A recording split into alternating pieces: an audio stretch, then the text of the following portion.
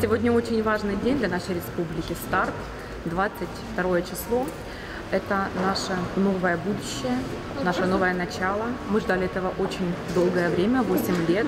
Мы надеемся, что, что нас э, Российская Федерация примет объятиями распростертыми. Все у нас наладится, будет правовая база, мы будем процветать, расти дальше.